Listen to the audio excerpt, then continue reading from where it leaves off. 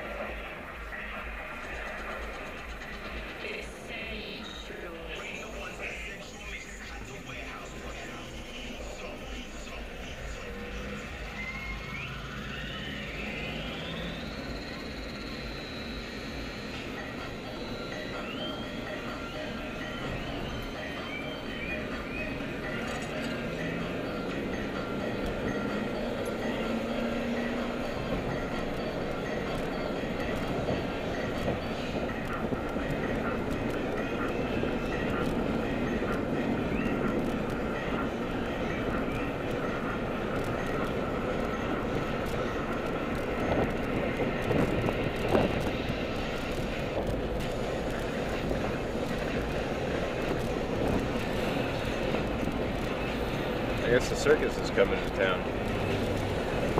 Or a fair.